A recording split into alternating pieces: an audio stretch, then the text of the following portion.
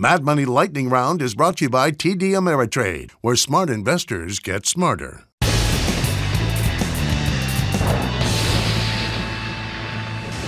It is time! It's time for the lightning round! What is that? And then the lightning round is over. Are you ready, Steve? Let's start with Gloria in New Jersey. Gloria! Oh yeah, Jim. Uh, first time caller. right. I love your show. Oh, thank you. Uh, there are some class action suits against Virgin Galactic alleging that they provided false or misleading information to investors. Also, their stock dropped from 54 to 47 yesterday. Is Virgin Galactic a good buy at You these know, levels? you know, the class action stock doesn't bother me as much. What really is is that it's basically a very expensive stock, and I think it had it had a good run. Let's find others. I mean, I just think it's had a good run. Not unlike a lot of the companies that came, up it went IPO today, and they have really had too good a run. Tho- Those are also ones that I wouldn't buy. Let's go to, oh, except for Didi, seems inexpensive. Let's go to Scott in Florida. Scott, Good evening, Dr. Cramer. hi. Uh, I'm curious about investing in server farms. I own Digital Realty Trust, and other than maybe Amazon, which has AWS, which data center stock deserves to be in my 401k? Well, actually, I think that you're in the best one. Uh, you're in one that I think is out, just just terrific, uh, and I would stick with it. Uh, they are, um, you know, look, that's a $43 billion company. It's, it's, it's no small change, it, and they're they're very very well. I wish they'd come on the show. Let's go to John in Louisiana. John, Hey, Jim. Jim, thanks for taking my call. Jim, I live in Shreveport, Louisiana. We're located in northwest Louisiana. We're very aware of the storm season, otherwise known as hurricane season in Louisiana.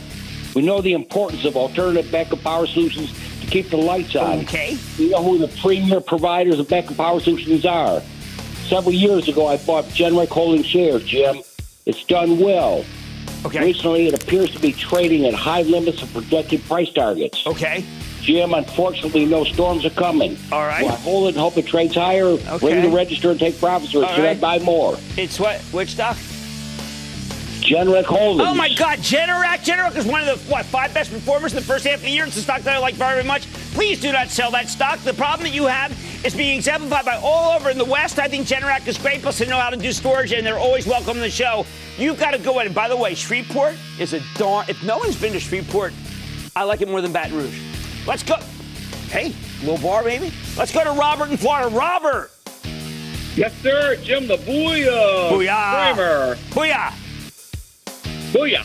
Booyah. How are you, sir? I'm All good. How about you? so I got an opinion. What's your opinion on the Sorrento Therapeutics on their portfolio of products, including their COVI-STIX, Kobe I think drop? it's fine. I mean, look, it's a, it's kind of it's not really a meme stock, but it's one that is it's got too much hot money in it. Too much hot money. Let's go to Carlos in Calif- uh, in California. Carlos. Hey Cramer, how's it going, buddy? Uh, it's going well. How about you? Good, good, man. I just want to tell you, I love you, man, and you make you make uh, uh, investing fun. I want people to learn. That's how you have to do. You have to make it interesting. What's up?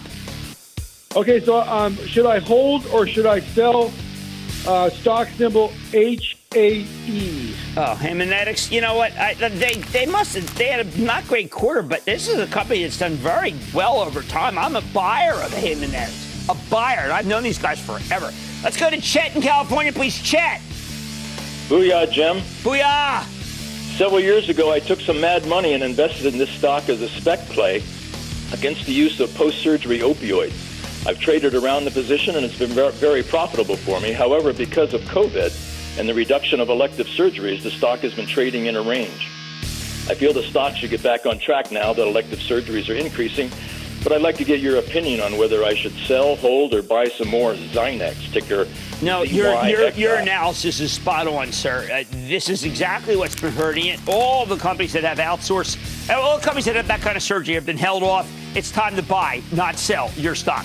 And that, ladies and gentlemen, the conclusion of the lightning round. The Lightning Round is sponsored by TD Ameritrade. Don't miss a second of Mad Money. Follow at Jim Cramer on Twitter. Have a question? Tweet Cramer. Hashtag mad tweets. Send Jim an email to madmoney at cnbc.com or give us a call at 1 800 743 CNBC. Miss something? Head to madmoney.cnbc.com.